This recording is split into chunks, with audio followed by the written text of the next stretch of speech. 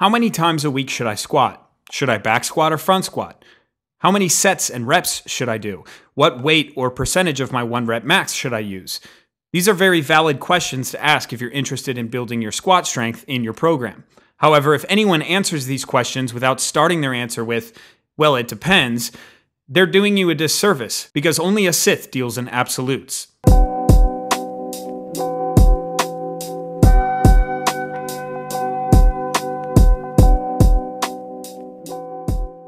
First, I'll direct you to arguably one of the best set of videos on programming I've ever seen, and that is the scientific principles of strength training. These videos were produced by Juggernaut Training Systems and are based off the book by Chad Wesley Smith, Dr. Mike Israetel, and Dr. Mike Hoffman. If you're a weightlifter, you should separate your training into two distinct periods an off season and a competition prep slash competition season. There are different periods within those, however, for the sake of this video, we are just going to keep it simple. It's common in the off-season after a potential detraining or general physical preparedness phase to focus on strength, specifically squat strength. This means that much of one's adaptive capabilities will be used in driving this particular aspect up. The best way to understand adaptation is the principle described in the aforementioned series as stimulus recovery and adaptation, or SRA for short. Everything we do that causes adaptation will have a recovery cost. When you learn to play the guitar, your fret hand fingers will hurt from the strings at the time of practice. Maybe they continue to be tender a day later, then you come back and they hurt a little bit less. Similarly, we have the SRA with the squats. The big factor that would determine SRA at the start is fitness. Essentially, your fitness at this point is just the ability to manage stressors with or without adaptation.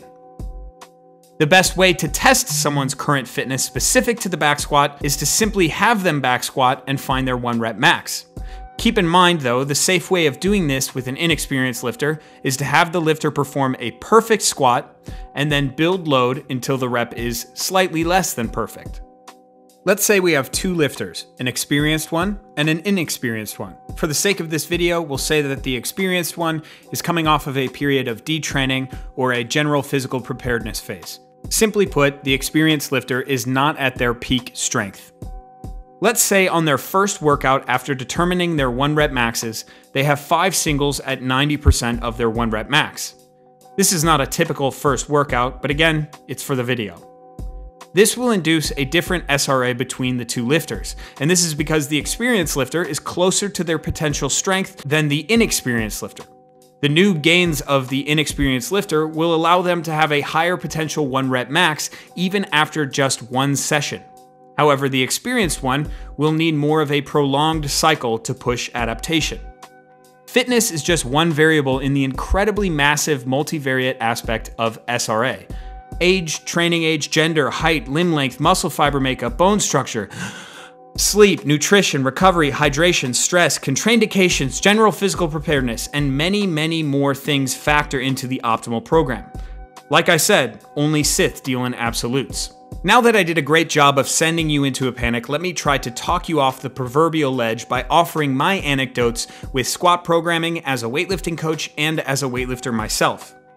In our off season, I like to program stimulative days and non stimulative days. If the goal is to increase squat strength, those stimulative days will be focused on creating SRA with the squats. In my latest program, these stimulative days lie on Monday and Thursday. We are weightlifters, so I find ways to practice the snatch and the clean and jerk and their variants without inducing excess fatigue resulting in overtraining. Day one of this squat program calls for 80% relative lifts. This simply means that we will be using working percentages off the respective reps within a set. For the sets of five, we'll do two sets at 80% of our five rep max. And for the sets of three, we'll do two sets at 80% of our three rep max. Instead of working off of actual 5 and 3 rep maxes, we use a rep max chart to determine what those weights are. That is what gives us our actual percentage, or just percentage of our 1 rep max. This program, as with many programs, are based off of increasing relative intensity or volume or both. As you can see in the next session, I didn't increase intensity, I only increased the amount of sets, i.e. volume. However, the following week, I increased relative intensity. For more on relative intensity and similar concepts, check out my series on maximum strength. Here's the tricky part. Depending on the individual characteristics of the lifter, SRA from these intensities will be different. Enter RPE, or rate of perceived exhaustion. Instead of relying on a set pattern of increase of relative intensities, I can use RPE to get the stimulus I want. Instead of 90% relative, I could say just do a set at RPE 8. It all depends on what I, as the creator of the program, want for that day.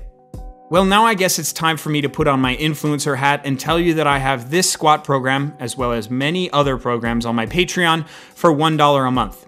If you're wondering how to make a program or what you should do, just try something. You know why? Because you have time. There's no need to rush and find the best and fastest way to get the highest results. That mindset is only going to lead you to disappointment. Anyways, thank you so much for watching, and I'll see you on the next one.